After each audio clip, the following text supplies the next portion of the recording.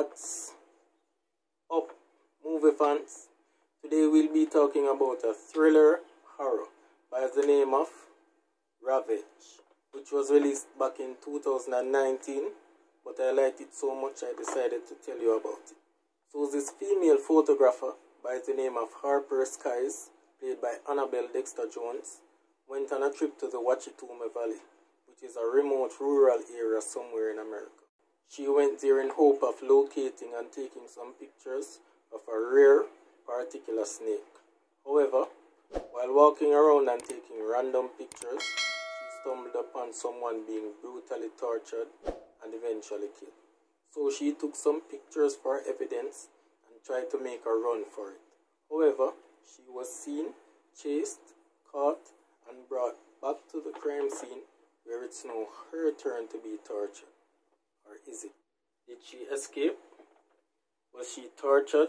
If so, how badly? Did she kill some of them? Or all of them? Or was she actually killed in the end? Only one way to find out, right? And that is to go watch the movie.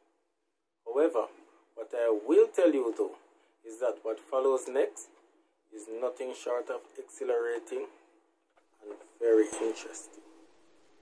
There's a lot of drama and a whole heap of suspense. You'll be at the edge of your seat the entire movie, rooting for her to make it. The action was good, the killings were fairly gruesome. It's not overly packed with gore, but there's definitely enough to keep gore fans satisfied.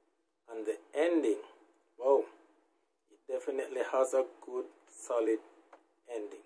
It is very similar definitely reminds you of movies like I Spit on Your Grave and Revenge 2017.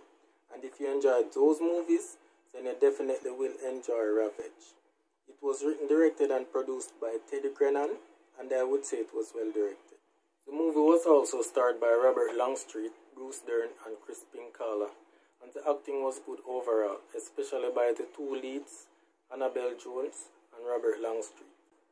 I am giving Ravage a B. So, Ravage 2019. Have you seen it? If you have, or whenever you do, leave a comment below and tell us what did you think about it. And remember, press the subscribe button, press the bell, press ALL and leave a thumbs up. See you again soon.